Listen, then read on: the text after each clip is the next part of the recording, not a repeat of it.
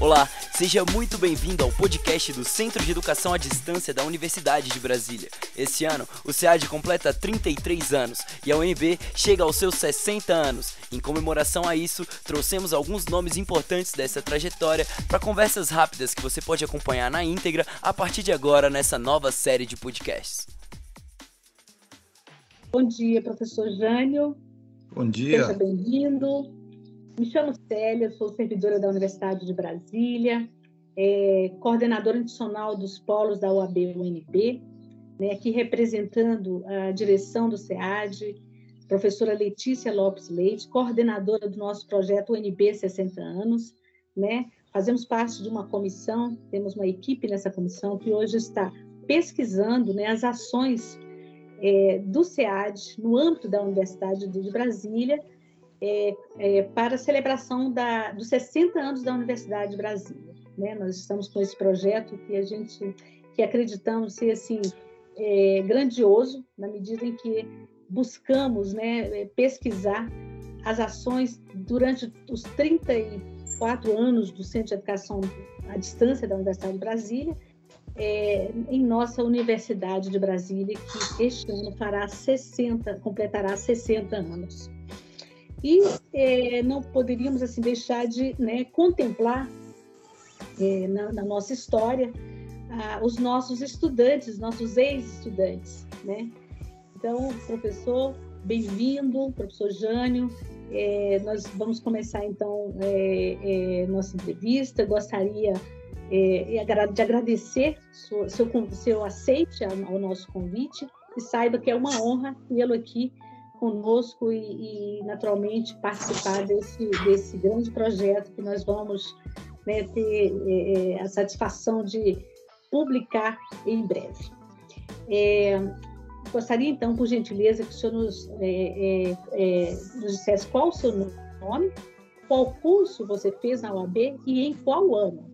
Primeiramente, eu quero agradecer pelo convite, né, a mim que foi feito pela comunicação que foi intermediada via e-mail e eu não tinha como é, não participar, que é o que eu entendo as obrigações que a gente tem como estudante, como, como professor e também como é, construtor da sociedade de uma sociedade civil organizada.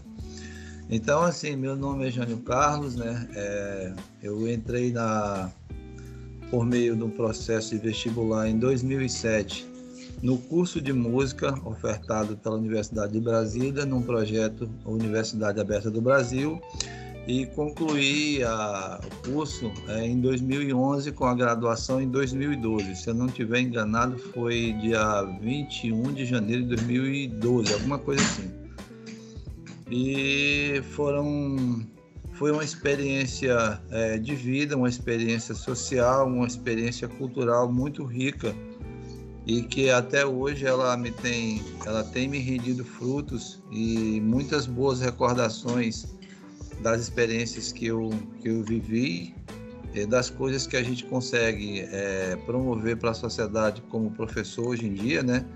Porque a gente entende a responsabilidade de um curso dessa envergadura e daquilo que a gente pode oferecer é, nos âmbitos científicos, no âmbito do ensino, da pesquisa, é, por meio de um, de um, processo educacional ao qual eu fui submetido.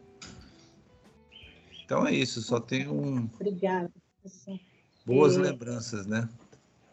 Um e agradecer. Então, né? É, conte um pouco, professor, de sua trajetória na UAB e como você descobriu o programa OAB? É, tá. Se eu não, não, não me falha a memória, um amigo meu estava fazendo um doutorado, era mestrado é, na Universidade de Coimbra. Aí ele, estando de férias aqui na cidade de Cruzeiro do Sul, no Acre, ele me confidenciou alguma coisa, conversou comigo, ó, parece que vai ter aí alguns cursos à distância ofertado pelo governo federal na área de música. Isso em 2005. Aí, na época, hoje em dia a gente, hoje nós estamos em plena pandemia, ano de 2022, né? E a gente entende a importância do que, que é o ensino é, remoto, o ensino EAD, qual, foi, qual que é a importância disso hoje para a sociedade. Então, é, na época, você imagina 2005, isso era algo que não era tão valorizado, né? não era tão comum. Então, nesse, nesse processo todo, eu fiquei aguardando, meio até com um pouco, é, um pouco, pouco descrédito. Mas quando aconteceu, é, foi como um banho de água fria. Poxa, tá aí, tá batendo na porta aí, faz o quê? Eu lembro que não somente eu, então, pegou muita gente de surpresa, né? Então, quando a gente conseguiu entrar, as informações eram assim, amigos falando, é, é as divulgações não são como hoje, né? Hoje você, é, em questão de minutos, você consegue fazer uma mobilização é, de muitas pessoas por meio das redes sociais, que é um instrumento muito poderoso de informação e também até de desinformação também, né? Então, a, o mecanismo de informação naquela época foi ficar atento com as informações que vinham chegando e tentar é, o máximo ir atrás da, da, da fonte correta, né, para você poder fazer parte disso daí. Então, mais ou menos o, o ingresso foi dessa forma, né? Teve o vestibular, teve as provas, as provas práticas. Eu me lembro também como foi as minhas provas práticas é, de, de teoria musical, de leitura de partitura. Aí começou o curso em si com, com N dificuldades, né? Se a gente for comparar, por exemplo, uma cidade como Brasília, como até Rio Branco, que é a capital do estado. Eu moro em Rio Branco hoje, né? Trabalho em Sena Madureira. A gente tem uma diversidade de sinais de internet por meio dos seus provedores e, e as empresas afins. Mas naquela época não era, não era tão fácil, né? Você ter o equipamento correto, que é a máquina digital, que, que pudesse converter para tirar peso. Aí tinha o dia que a, que você, tinha um prazo, tinha um dia que você não conseguia fazer a edição de, de, vídeo. Hoje, quer dizer, eu consigo fazer uma edição de vídeo em menos de, de, meia hora, fazer uma aula, que hoje é uma coisa mais comum hoje em dia, mas naquela época a gente nem sabia o que, que era o que, que era um editor de vídeos, um editor de vídeo gratuito, um outro pago. Aí tem as licenças, aí veio também com, com o passar do tempo as outras tecnologias que vieram a somar, né? Então, assim, houve muita dificuldade, né? Mas é, a gente conseguiu chegar, é, vencendo as dificuldades e aprendendo a lidar com elas, né? É, é certo, professor. É, com relação, o senhor escolheu o curso de música, né? É. E por que escolheu esse curso? Ah, a minha história com música, ela, ela é, é muito antiga, né? Eu eu atuava como músico é, aqui na cidade de Cruzeiro do Sul, na região do Vale do Juruá. É, tinha experiências na aula de, na área de atuação em oferta de cursos de música, de cursos gratuitos para crianças e jovens é, em situação de risco né, social, por meio dos editais de fomento à cultura, é, do que a gente chamava de é, é Fundação Elias Mansur, é como se fosse uma secretaria é, de cultura aqui do estado. Então eu, eu tocava na noite, tocava em festival, é, já gravei CDs, já participei de festivais fora do estado e assim não tinha não tinha porquê com a escolha que estava vindo eu escolhi um outro curso que era uma coisa que fazia parte é, fazia e faz parte da minha da minha vida né assim a, a vida, ela é assim, nós, a gente tem um, um, há várias histórias de vida na, na, na, história social brasileira, uma delas é o futebol, outra, outra delas é a arte, né? E também tem a questão da, da, da ciência, né? A gente sabe que, por exemplo, do nada, se você consegue jogar um produto no, no mercado e patentear, isso também rende muita, é, muitas questões financeiras para o criador disso daí, a gente sabe disso mas não é tão badalado como é na música e, quando é, e como é no esporte, no Brasil, né? Então, foi, foi por meio da, da, do meu envolvimento com música, com situações culturais, através dela, que tinha que juntar o útil ao agradável, né? Maravilha. Então, não foi difícil escolher, não. Professor, o, senhor, o polo, o polo então que o senhor fez o curso foi o polo de Cruzeiro do Sul? Isso, é isso? foi o polo de Cruzeiro ah, do sim. Sul. polo de apoio presencial. Então, é, como foi assim, sua trajetória de estudos? Conte um pouco sobre os desafios vivenciados, as dificuldades. Certamente o senhor até colocou que, com dificuldades, né, essa, sua, é. essa, esse, esse curso, e como superou todas essas dificuldades. Como era a sua rotina de estudos? A minha rotina de estudo ela começava o seguinte: eu acordava seis horas, mais ou menos, cinco e meia, aí arrumava o café das meninas, da minha esposa e da minha filha, levava elas para a escola e ia entregar carta o dia todo, que eu era carteiro na época, né? Eu fiz parte da empresa, é, empresa brasileira de correio de telégrafos por sete anos e nesse processo do, de trabalho eu entrou a curso superior. Então eu tive que é, fazer uma situação em que o curso não atrapalhasse a minha vida familiar e nem do trabalho, nem que um atrapalhasse o outro. E como eu sempre tive facilidade de perder sono, o que é que eu fazia? Eu, quando eu voltava do trabalho, à tardinha, aí ficava com as meninas e tal, ia colocar minha filha para dormir, ela era pequena na época, e das 10 horas até madrugada eu ia estudar. Então, por exemplo, o que tinha que fazer é uma leitura de partitura. Por exemplo, eu fiz os dois cursos de os dois instrumentos, que era teclado, piano e violão, porque violão não era difícil para mim. E como eu queria agregar maior conhecimento em outras áreas, em outras situações, eu fiz o, curso, a disciplina de teclado até o final, porque isso ia me ajudar como professor lá na frente. Então, foi uma jogada meio arriscada, porque acredito eu que aqui no estado ninguém fez isso. É, eu sabia do desafio, eu queria chegar de fato até o final com isso. Não é uma questão de você agregar conhecimento, né? Você, você mexe com a partitura de violão, que só é clave, clave de sol, e de repente você se vê nessa situação de você estudar dois instrumentos. Então, para você ter uma ideia, as disciplinas de elas abriam à meia-noite de domingo no geral. Então eu ficava às vezes até uma hora da manhã, duas horas, aguardando a abertura da disciplina de violão. E quando era quatro e meia da manhã, eu acordava mais cedo, gravava e já mandava. Eu mandava sempre com antecedência, porque aí eu tinha a semana todinha para me programar para as outras disciplinas. Então eu adiantava aquilo que era mais fácil para mim no início e deixava no decorrer da semana para mandar o restante. E para não, como eu falei, para uma coisa não atrapalhar a outra. Então, assim, é, quando, quando chegava geralmente na quarta, quinta ou sexta-feira, já estava com tudo pronto, já tudo enviado. E assim, às vezes os colegas não, eles não viam isso com bons olhos, porque eles diziam que eu, de uma certa forma, atrapalhava eles. O pessoal dizia, ah, o pessoal vai pensar o quê? Eu digo, não, gente, porque assim, eu tenho que trabalhar de acordo com a minha dinâmica. Eu tenho horários a cumprir, eu tenho isso a cumprir, então eu tive que me organizar. Porque o que, que eu ensino em AD? Você tem que organizar o seu tempo.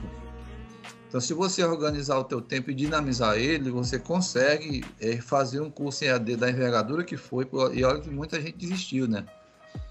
É, consegue é, dar conta dos estudos, da sua vida social e da sua vida trabalhista e familiar também, entendeu? Então, mas não é, não é fácil.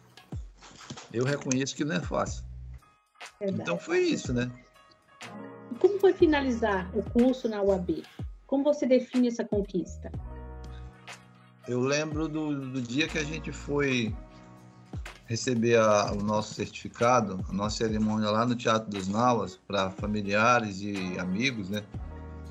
E é, no momento em que chamaram meu nome para descer a escada, para ir até lá o, o palco, né, para receber, eu estava com a minha filha, minha esposa e alguns amigos e tal. Eu lembro que caiu, saiu um peso das costas, né, porque é, a gente mora, a gente vive num, num Brasil, eu, eu diria, culturalmente desigual. A gente existe uma valorização para coisas que são é, culturalmente, eu, eu, não quero ser é, grosseiro no que eu estou falando, mas a gente, infelizmente, a, eu vejo como uma. Existe uma grande manipulação de você levar uma, toda uma juventude, toda uma criançada, sei lá, para um local que não é muito positivo. E a gente vai descobrindo isso com o tempo. E às vezes você ser um educador nesse, nesse tempo de hoje é muito, é muito complexo, porque a, a, as opiniões vão se formando e às vezes várias opiniões te levam a crer que você está no caminho errado, e quando na verdade a gente tem. É o que eu sempre falo, a gente é um país de Vila Lobos, a gente é um país de Carlos Gomes, nós somos um país de, é, de Francisco, do é, Maurício Nunes Garcia, a gente tem Jacó do Bandolim, a gente tem Ernesto Nazaré, Zequinha de Abreu, é, é tanta, tanta é, genialidade musical que ela não é explorada da maneira correta por, por questões midiáticas. E eu conheço, por exemplo, eu já, como falei anteriormente, eu já rodei outros festivais em outros estados e a gente vê o quanto que a gente tem de, de, de talentos no Brasil mas que infelizmente por conta de, de, dessas situações a gente não consegue ver esses caras viverem disso. É como se você visse um artesão que tem um, um, grande valor, mas ele não consegue colocar comida na sua mesa por conta dessas desigualdades. Então, assim, é, eu vejo que o, quando eu desci para receber o, o, o certificado, tudo isso vem na cabeça. Que o desafio, qual que é o desafio próximo? É você entrar numa sala de aula, dar conta de 40 alunos que não querem saber daquilo ali. É, é você ter que convencer os teus alunos que existe o que eles trazem de casa, mas que também existem outros valores que é interessante para a vida, para a vida intrínseca deles, né? Para a vida é, como um, um, um bem imaterial, como a música é. Então, assim, isso tudo pesa. E fora isso também que ao longo desse desse processo, eu é, eu tive que enterrar, enterrar entre aspas, né? eu perdi minha mãe, né? Perdi minha mãe e também um filho. Então foi muito mais dolorido por essas questões. E nesse dia eles não estavam comigo, né? Mas assim, são situações que, que na vida pessoal de cada um existem é, é, os desafios, né? E felizmente ou infelizmente isso fez parte da história. Mas assim, é, o tal do, do, grito preso na garganta, com vontade de gritar gol. Professora, eu, eu, vou quebrar o protocolo aqui, mas eu estou assim é, encantada com a sua entrevista, viu? Eu também estou aqui, enquanto você fala, eu estou viajando também, assim, acho que como é rico, né? Toda, é. assim, você traz assim a humanidade, né? Literalmente a humanidade, né? É, para dentro, né? Pra, no processo, né? Então a gente percebe assim que a história de vida, a história do lugar permeia a vida, né, das pessoas, né?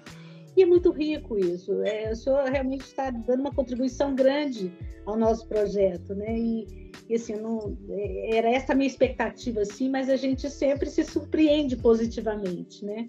Então, assim, como é bom eu estar aqui entrevistando o senhor, eu estou muito feliz, viu? E só para continuar aqui, a gente está perto, está concluindo a nossa entrevista. É, depois de se formar, o que mudou na sua vida pessoal e profissional? Mudou muita coisa, né? Pessoalmente, é, eu me tornei muito mais defensor daquilo que eu acredito. Eu, eu é claro que após esse processo veio os concursos, editar de concurso aqui no Estado e no, no Instituto Federal. Hoje eu sou servidor do, do IFAC, né? E com isso eu, é, eu concluí a minha especialização em educação musical. Hoje eu sou mestre em ensino profissional e tecnológico e já estou é, potencializando uma pesquisa para ingressar no doutorado. Não é fácil, por quê? Quando você mora perto de um grande centro, é muito mais comum você ingressar, enveredar por um curso que tem mais a ver com a tua área. Quando você mora mais distante, que é o caso da gente, a gente tem que abraçar o que, o que acontece. E você vai com isso, pegando o que você sabe fazer, convertendo para uma pesquisa que se aproxime com a tua linha de, de trabalho. Que foi o que eu fiz, né? O meu, o meu para me entrar no, no mestrado, eu é, uma, a minha orientadora, que é lá da, do IFAM, professora Lucilene Paz, ela achou é, no meu currículo uma forma de, de melhorar o, o, trabalho dela. Que era justamente trabalhar com botânica e música. Uma coisa assim, isso rendeu uma, uma, uma escrita de mais de 120 páginas, a gente conseguiu fazer um trabalho que inclusive até foi premiado na Universidade do Amazonas é, pela, pela forma como ele foi desenvolvido. Então, assim, isso para gente, para mim, né, que é, é, eu queria largar o curso no, no segundo dia quando eu vi a, a, proposta, porque eu já vi muita coisa, matemática e música coisa que pitagoricamente falando é algo que se encaixa, né, é, matemática e geografia, matemática, não, música, geografia português e é assim, mais esse esse tema nunca tinha visto, é tanto é que ela se, né? ela se tornou algo inédito e assim é, prova que o ser humano quando ele ele tem a, a, a perspicácia, ele consegue encontrar os caminhos. E eu lembro de um professor, professor Dr. João Neto, na área de física, ele falou uma coisa para mim que, eu, que faz parte do meu comportamento, que é a coisa do músico. O comportamento de músico é assim. Quando você vai para uma coisa e você não consegue resolver, o músico diz assim, ah, deixa isso para lá. Aí eu estava meio que nessa condição. Ele chegou, me chamou e falou, ó, você não pode mais agir como tal, porque você já é um professor, assim, assim, assado, encontre os caminhos. Aí quer dizer, é... e uma coisa que quando a gente para para olhar para trás, a gente vê é, o quanto que a gente conseguiu crescer. Eu ainda não me sinto grande, para falar a verdade, como educador, como pesquisador, nem como extensionista. Eu pratico isso é, todo dia. Eu procuro, eu faço muitas abordagens é, de extensão lá na cidade onde eu trabalho, que é a Sena Madureira a terceira maior cidade do estado, onde é, temos, por exemplo, uma, uma taxa de suicídio por jovem bastante interessante, né? É devido a, a alguma, algumas situações sociais, eu diria, né? É, temos também é um município onde a maior, onde há mais é, pessoas infectadas com AIDS, né? Então, tem muita coisa que, que a educação pode resolver. Então, quando a gente consegue fazer um trabalho que do nada você vê o teu aluno é, entrar num, numa, te ver num corredor de uma universidade, professor, estou fazendo isso, ou ver o teu aluno trabalhando em outra área fora daquela cidade, ou até mesmo na cidade, você vê que a, aquela disciplina que você é, trabalhou com ele, ele serviu para engrandecer de alguma forma.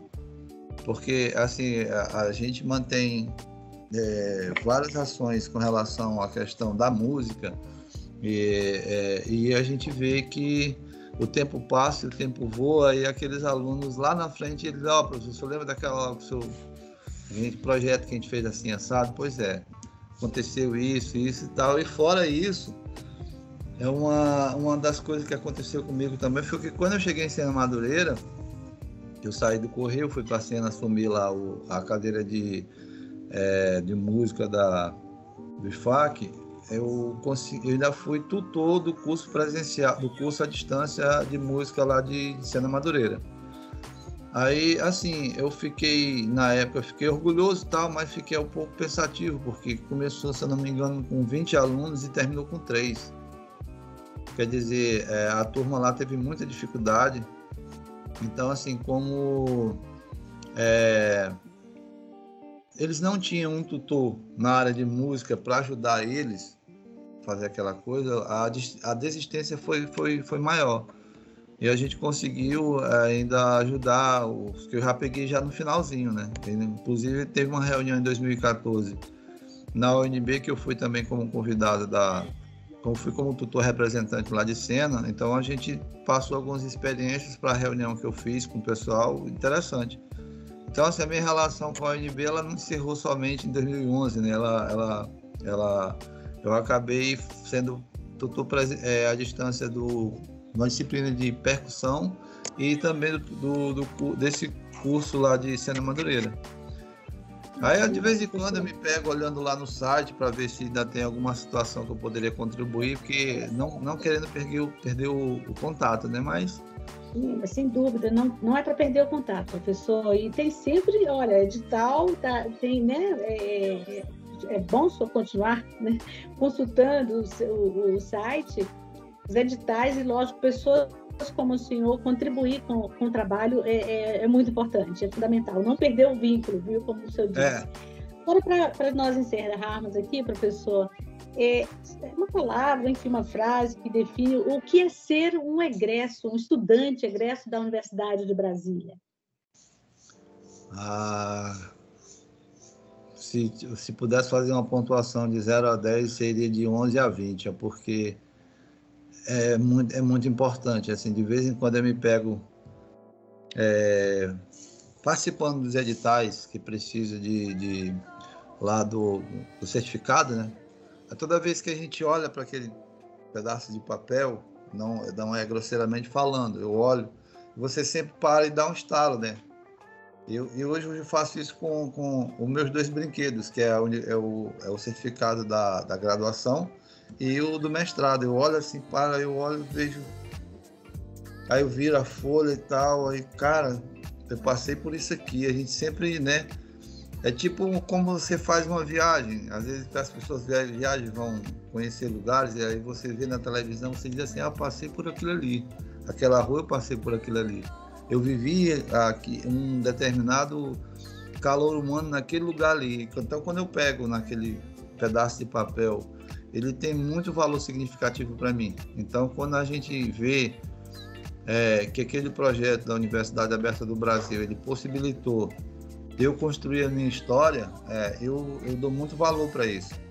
E passo isso também, esse valor para minha filha, né? Hoje ela está no vai para o segundo ano do ensino médio e ela, eu sempre converso com ela sobre essas coisas, né? E ela, como ela era meu, era o meu alicerce, é a minha família, minha esposa, minha minha filha, sempre a gente fica conversando sobre essas esses degraus que a vida tem, entendeu? Então, é um, é um não tem como mensurar o, o quão, quão importante foi para minha vida fazer parte disso. E, e ainda continuar escrevendo essa história, porque assim, é, vamos supor, hoje a gente está nessa reunião aqui com vocês, né? O pessoal lá da, da, do mestrado, se eles soubessem dessa, dessa reunião, ele no outro dia já publicaria. Professor, é, egresso do curso de mestrado, egresso da universidade, já iam publicar alguma coisa, porque a gente sabe que as instituições elas né, gostam de divulgar essas coisas, né? A gente sabe disso. Sim, sim, sim. Então, com certeza, aí, professor Pode falar. Aí assim, a, a, a gente se, se sente o valor, o valor não é um valor econômico, é um valor é, ético, um valor social, é um valor imaterial, eu diria isso. Né? É a mesma sensação que o cara tem quando faz o gol, que a gente não sabe por que, que é, quando aquele negóciozinho entra na trave e tal, a gente não consegue entender, entendeu? Por que, que o cara fica tão feliz porque faz um gol numa pelada, vamos supor. Então, para mim, é mais ou menos a mesma coisa. É uma alegria quando vi, vi aquele pedaço de papel. Professor, muito obrigada. Olha, é, a universidade, né, o Centro de Educação à Distância da Universidade de Brasília, sente-se assim, honrado. O senhor nos deu assim, uma honra imensa né, ao nos proporcionar essa bela entrevista, essa sua trajetória né, é, é, é durante o curso e, naturalmente, né, os, os transcendeu, né, e transcende, né, na, verdade, tudo, todo o seu propósito, tudo que o senhor, né, todo o seu empenho, né, todo o seu, né, os valores que o senhor acredita, isso, claro, imprime é, né, realmente qualidade né, na, a, a, tudo, naturalmente o que o senhor se propõe a fazer. Então, parabéns e esse sucesso na sua carreira né, de profissional, docente do, do, do IFAC, né? É. E quem sabe um doutorado aí, o senhor já está fazendo doutorado, né? Na verdade ainda não consegui. Não, é porque, não. como eu falei para então, você, é... Eu, é, eu, fiz um mestrado que não era na minha área, mas a gente conseguiu é, uhum. concluir ele com êxito. E aí eu fiquei alguns dois anos. Não, eu terminei em 2018. Aí eu fiquei um pouco ali meio que olhando, observando, lendo. Mas quem sabe, professor, é... quem sabe um doutorado na, na Universidade de Brasília, né? Na sua ah, área aí. Fazer, então, assim, queria dizer que nós estamos assim muito felizes e com certeza nós é quem vamos colocar na primeira página lá do SEAD a entrevista. Assim que que nosso trabalho né, se concluir, que nós temos fase ainda de pesquisa, de entrevista, que, claro, vai culminar até uh, o final do ano, nós vamos ter esse trabalho concluído e vamos, claro, é, é, publicizar, divulgar. O senhor vai ter em primeira mão né, esse trabalho também. Obrigado. Então, em nome, em nome da direção do SEAD, professora Letícia, em nosso nome, Éder, agradeço muito. O Éder é um técnico né, é, é, é, da área de, de, de, de tecnologia, de, de, vídeo, é um, digamos assim, um especialista na área que está contribuindo aqui conosco. A quem agradeço muito, ele está em todas as nossas entrevistas nos auxiliando. Então, professor, gratidão, tudo de bom, tá? Deus abençoe o senhor, sua família, né, nos seus planos e estamos muito felizes, sim, de coração eu agradeço pelo seu, né, pela sua contribuição nessa entrevista. Bom, eu, eu que agradeço, é, espero é, de fato ter contribuído com, com esse projeto de vocês, que eu acredito que todas as, as ações que, que são inerentes à pesquisa, à extensão e ao ensino das universidades, elas devem ser é, valorizadas, é, lidas, exploradas, divulgadas, porque é, fazer o bem não é tão fácil. As notícias ruins voam mais do que as boas. E quando a gente consegue fazer parte disso, é importante também. E quero desejar a vocês sucesso no trabalho e mandar um oi para os meus professores da de Brasília, os quais eu não vou nem nominar porque são muitos, né? Alguns a gente pode lembra do nome, outros nem tanto mas é, é uma instituição que eu guardo com muito carinho, né? Assim, Obrigada, professor. Esse, esse oi vai chegar a todos, com certeza, viu? Total. Gratidão, professor. Um até eu logo. E, por favor, disponha sua pesquisa aí, é, inédita, depois o, o, o endereço onde nós podemos ter acesso, tá bom? Tá, eu vou, eu vou mandar naquele e-mail que vocês me mandaram. Aí tem o produto educacional dele e tem é porque foi um mestrado profissional, mestrado profissional, né? não foi um mestrado acadêmico. Mas o bom foi que a gente conseguiu é, entender como é que funciona a questão das patentes no Brasil, né? Por exemplo, nas universidades, aqueles projetos que de fato nascem na, na, no, é, na escola e que tem um, algo voltado para ser trabalhado na própria escola. E o legal dele foi que ele teve um, dois desdobramentos, né? a gente conseguiu ajudar em, em, em, outros dois mestrandos com a própria pesquisa que foi gerada da, da nossa iniciativa. E assim. É, é... Então a gente aguarda aí essa, tá. É, é, o envio desse documento, tá? Muito obrigada, professor. Um até breve. Tchau, obrigado.